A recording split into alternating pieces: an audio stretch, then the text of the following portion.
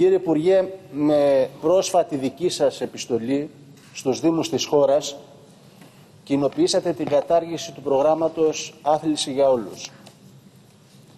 Είναι φανερό ότι μια τέτοια απόφαση στρέφεται ενάντια στο κοινωνικό δικαίωμα του αθλητισμού όχι μόνο των παιδιών, των νέων ανθρώπων, αλλά και όλων των ηλικιακών ομάδων, έχει προκαλέσει αντιδράσεις στον αθλητικό κόσμο, των γυμναστών, των φορέων τους, καθώς και των σχολών φυσικής αγωγής και αθλητισμού στη χώρα.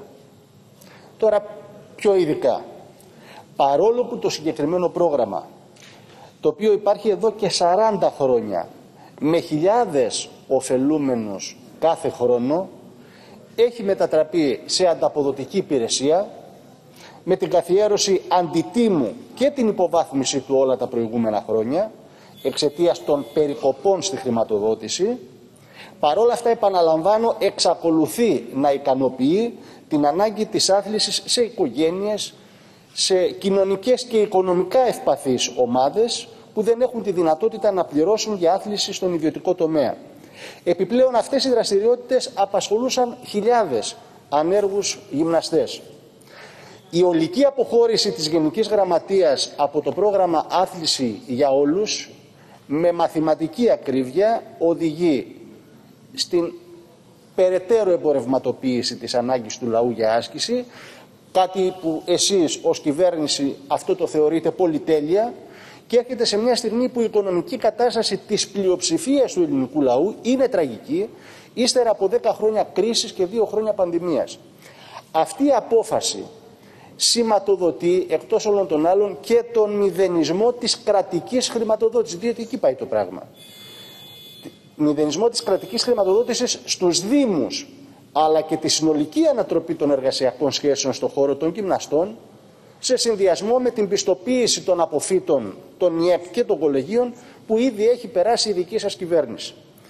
Ευθύνη για την επισφάλεια σχετικά με τη συνέχιση ή και την ομαλή λειτουργία του συγκεκριμένου προγράμματος έχουν όλες οι κυβερνήσεις, δεν την έχετε μόνο εσείς, όλες οι κυβερνήσεις διαχρονικά με την υποβάθμιση και την υποχρηματοδότησή του. Ευθύνη έχουν επίσης όλες οι μέχρι σήμερα κυβερνήσεις για τις επιδεινούμενες χρόνο με το χρόνο εργασιακές σχέσεις των γυμναστών με αποκορύφωμα την ε, πληρωμή με το αντίτιμο, δηλαδή με το κεφάλι των συμμετεχόντων που καθιέρωσε η κυβέρνηση του ΣΥΡΙΖΑ.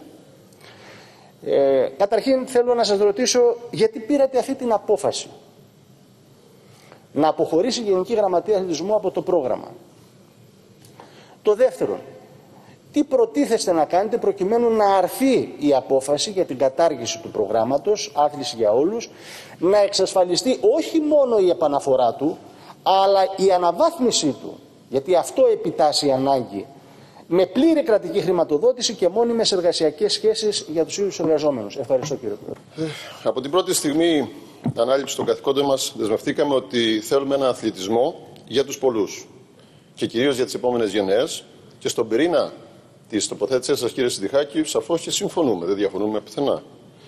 Η αθλητική μας μεταρρύθμιση δεν περιορίζεται στον επαγγελματικό και αγωνιστικό αθλητισμό, δεν περιορίζεται στον αεραστεχνικό αθλητισμό, η αθλητική μας μεταρρύθμιση γίνεται βήμα-βήμα και αφορά το σύνολο του αθλητισμού, το σύνολο της αθλητικής οικογένειας και φυσικά το σύνολο της ελληνικής κοινωνίας. Στους βασικούς άξονες της πολιτικής μας έχουμε εξαρτήσει εντάξει τον μαζικό αθλητισμό και την άθληση για όλους. Διαμορφώνουμε το θεσμικό πλαίσιο και εξασφαλίζουμε τους κατάλληλους χώρους άθλησης για να γαλουχίσουμε τους πολίτες και ειδικά την νεολαία στην άθληση για να συνδυάσουμε τον αθλητισμό με την ίδια την υγεία και την ποιότητα ζωής.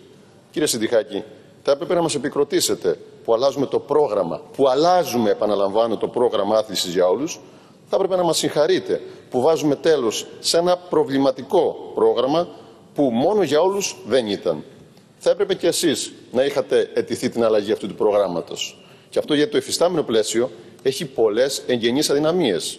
Αδυναμίες που περιορίζουν το κοινωνικό δικαίωμα του αθλητισμού, αδυναμίες που το καθιστούν εξαιρετικά περιορισμένο. Να σας παρουσιάσω μερικά μόνο στοιχεία ενδεικτικά των αδυναμιών που είχαν τα πάγο. Είναι τυχαίο ότι συμμετείχε μόλις το 1 τέταρτο των Δήμων της χώρας μας ή των φορέων τους από τους 332 Δήμους της Ελλάδος υλοποίησαν πάγο μόλις 78 Δήμοι ή φορείς τους το 2020. Και μην βιαστείτε να μου πείτε ότι είχαν, είχαμε το πρώτο lockdown με τον κορονοϊό. Να σας θυμίσω ότι αυτό ξεκίνησε το Μάρτιο του 2020. Τα πάγο είχαν ξεκινήσει το φθινόπωρο του 2019. Μόλις 58 Δήμοι συμμετείχαν στο πρόγραμμα το 2019, μόλις 80 Δήμοι συμμετείχαν το, το, το 2018, μόλις 75 Δήμοι το 2017 και μόλις 96 Δήμοι το 2016. Για να περιοριστώ στα ποσοτικά στοιχεία της τελευταίας πενταετίας, θα με επιτρέψετε να καταθέσω ένα εξαιρετικό πίνακα που δείχνει ακριβώς πώς κατανέμονται τα προγράμματα αυτά και για το πώς γίνεται η κατανομή θα το συζητήσουμε στη συνέχεια. Και φυσικά δεν περιορίζομαι στο 2021, γιατί ήταν μια ιδιαίτερη χρονιά λόγω πανδημίας. Για ενημέρωσή σας αναφέρω ότι υλοποιήθηκαν μόλις 42 προγράμματα πάγου. Και αυτά, αφού δώσαμε την έγκρισή μας, να πραγματοποιηθούν εξ αποστάσεως με τη χρήση ψηφιακών μέσων. Να αναφερθούμε στη γεωγραφική κατανομή των Δήμων που ετούνται και υλοποιούν πάγο. Έχει ενδιαφέρον, ακούστε. Πάνω από τα δύο τρίτα των πάγο, των προγραμμάτων, υλοποιούνται σε Αττική και Θεσσαλονίκη. Το ακούσατε καλά. Αν προσθέσουμε και τους μεγάλους πληθυσμιακά Δήμους Πάτρα, Λάρισα, Ηράκλειο, θα διαπιστώσετε ότι τα πάγο υλοποιούνται σχεδόν αποκλειστικά στα μεγάλα μόνο αστικά κέντρα της χώρας μας. Δεν φαντάζομαι, φίλε Μανώλη, να υποστηρίζεις ότι το κοινωνικό δικαίωμα του αθλητισμού περιορίζεται μονάχα στους κατοίκους των μεγάλων αστικών κέντρων. Πού είναι οι νησιωτικοί Δήμοι, πού είναι οι ορεινοί Δήμοι, πού είναι οι απομακρυσμένες περιοχές. Δεν υπάρχουν. Και ξέρουμε γιατί. Γιατί πιθανόν δεν υπάρχουν γυμναστές, γιατί δεν υπάρχουν πολίτες που να ενδιαφέρονται ή γιατί δεν υπήρξε πραγματικός σχεδιασμός ή διάθεση να εξαπλωθεί το πρόγραμμα και να λειτουργήσει σωστά σε όλη την επικράτεια και για όλους τους πολίτες. Γι' αυτό το λόγο θα καταθέσω στα πρακτικά και ένα άλλο στοιχείο το οποίο θα σας είναι εξαιρετικά χρήσιμο εφόσον φυσικά θέλετε να ασχοληθείτε παραπέρα. Το ζήτημα των γυμναστών που απασχολούνται στον πάγο είναι πράγματι σημαντικό και δεν μας αφήνει αδιάφορους. Αλλά και εδώ υπάρχουν αδυναμίες. Το πιο χαρακτηριστικό είναι ότι δεν ακολουθούνται οι διαδικασίες ΑΣΕΠ για την πρόληψή τους, πρόσληψή τους. Δεν νομίζω ότι πρέπει και εδώ να γίνονται οι προσλήψεις με τις αξιοκρατικές διαδικασίες του ΑΣΕΠ. Ρωτώ εγώ και θέλω την απάντησή σας. Και ανοίγω μια παρένθεση στο σχόλιο για την ανεργία των γυμναστών. Καταρχάς, θα συνεχίσουν να εργάζονται και φέτος. Να σας θυμίσω ότι για πρώτη φορά εντάξαμε τον κλάδο των γυμναστών σε προγράμματα στήριξης ανέργων του ΑΕΔ. Να σας θυμίσω ότι δώσαμε λύση στο χρόνιο πρόγραμμα, πρόβλημα της επαγγελματικής αποκατάστασής του των αποφύτων σε ΦΑΤΕΦΑ της χώρας με κύρια ή πρώτη ειδικότητα το ποδόσφαιρο. Να, να αναφέρω επίσης το ζήτημα της αξιολόγησης του ελέγχου των πάγων. Και εδώ υπάρχουν σοβαρά προβλήματα. Δεν υπάρχει κανένας μηχανισμός ή δεν υπάρχουν αποτελεσματικοί μηχανισμοί ελέγχου των προγραμμάτων αυτό. Ισχύει δηλαδή ό,τι δηλώσει ο φορέας. Ούτε υπάρχει αξιολόγηση των προγραμμάτων αυτών. Πιθανότατα πολύ σύντομα να έχουμε και νέα στοιχεία από την έρευνα της ανεξάρτητης αρχής διαφάνειας κατόπιν των στοιχείων που του αποστήλαμε. Περιμένουμε με πολύ ενδιαφέρον το πόρισμά τους. Δυστυχώς, ο χρόνος δεν μου επιτρέπει να αναφερθώ και σε άλλες εγγενείς αδυναμίες. Να θυμίσω εδώ στην αίθουσα ότι σκοπός της ίδρυσης των πάγων ήταν η βελτίωση της ποιότητας ζωής των πολιτών μέσω της άθλησης με στόχο τη μείωση των ιατροφαρμακευτικών δαπανών. Αυτός ο στόχος δυστυχώς ξεχάστηκε στην πορεία.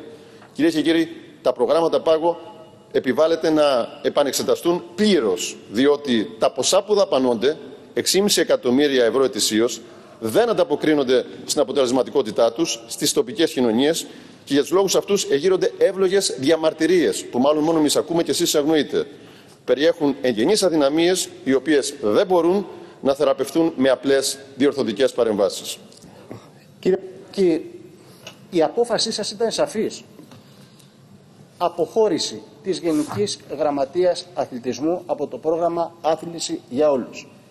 Είναι άλλο πράγμα το να παίρνεις μια απόφαση και να αποχωρείς, δηλαδή να καταργείς ουσιαστικά αυτό το πρόγραμμα και είναι άλλο πράγμα, είναι άλλο πράγμα με όλες τις εγγενείς αδυναμίες που έχει αυτό το πρόγραμμα να πεις προχωράω στην αναμόρφωση, στην ενίσχυση του προγράμματος έτσι ώστε να μπουν πολύ περισσότεροι δήμοι και οι ωφελούμενοι να είναι πολλαπλάσιοι από αυτούς που είναι μέχρι σήμερα. Αλλά όχι πονάει δόντι, βγάζω δόντι, πονάει κεφάλι, κόβω κεφάλι, γιατί περί αυτού μιλήσατε εσείς προηγουμένως. Ε, και όταν λέμε ότι πρέπει να ενισχυθεί αυτό το πρόγραμμα για όλους, εμείς πρακτικά έχουμε πολύ συγκεκριμένη πρόταση. Και το λέω αυτό διότι ε, εάν έχετε σκοπό που αυτό είναι η απόφασή σας να πάυσει η λειτουργία του προγράμματος πρέπει να έχετε και πρόταση. Δεν έχετε πρόταση. Δεν έχετε πρόταση. Απλώς μας είπατε για τις εγγενείς αδυναμίες. Φέρτε μας την πρότασή σας. Άρα λοιπόν δεν μιλάμε εδώ για αθλητισμό για όλους, ούτε για μαζικό αθλητισμό.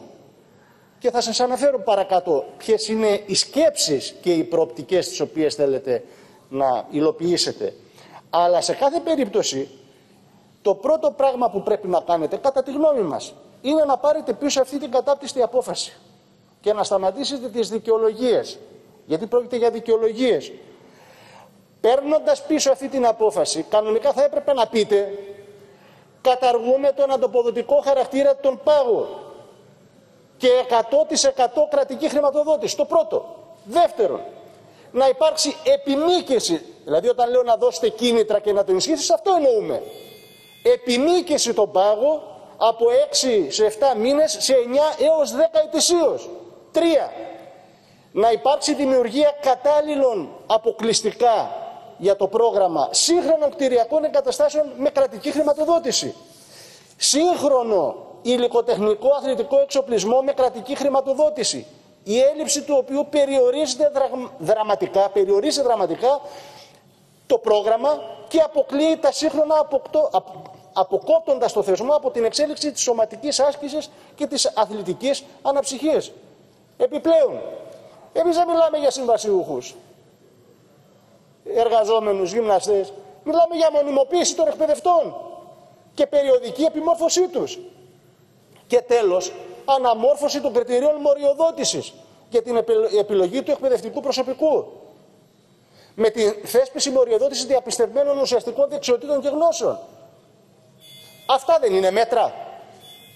Γιατί λοιπόν δεν τα υλοποιείτε, γιατί δεν τα κάνετε, γιατί δεν τα ασπάζεστε, γιατί δεν τα υιοθετείτε; Είναι φανερό λοιπόν ότι πρόκειται για μια απόφαση που στρέφεται ενάντια στο κοινωνικό δικαίωμα της άθλησης των δημοτών και ειδικά των νέων ανθρώπων και φαλκιδεύει τα εργασιακά δικαιώματα των γυμναστών και έρχεται ως επιστέγασμα μιας πορείας συνεχών περικοπών.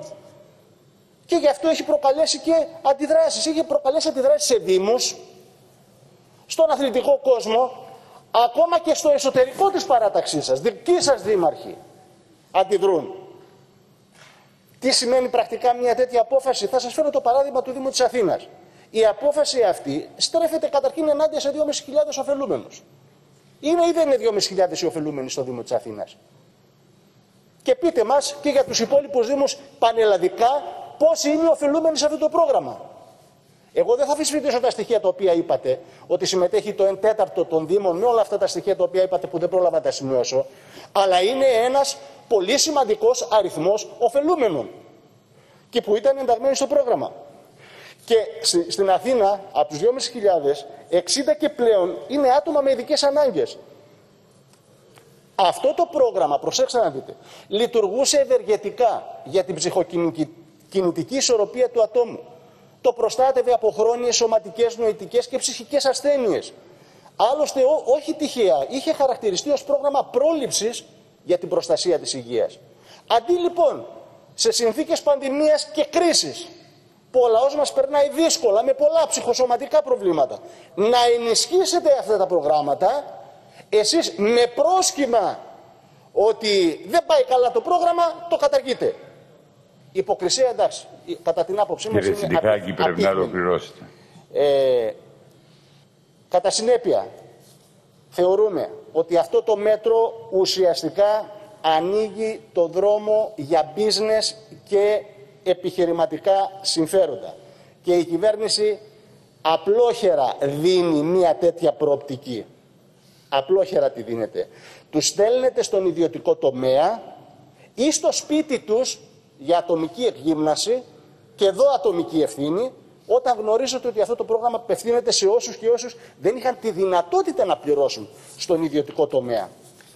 Ε, όχι τώρα, όχι ότι τώρα δεν πλήρωναν, πλήρωναν ένα μικρό αντίτιμο. Αντίτιμο όμως ως αποτέλεσμα των μεγάλων περικοπών στην κρατική χρηματοδότηση. Έτσι. Άρα λοιπόν, επανεξετάστε το, επαναφέρετε αυτό το πρόγραμμα και ενισχύστε το με βάση τις προτάσεις που σας έχουν κάνει και φορείς, σας κάνουμε και εμείς ως Κομμουνιστικό Κόμμα Ελλάδας. Ευχαριστώ κύριε Πρόεδρε για την ανοχή.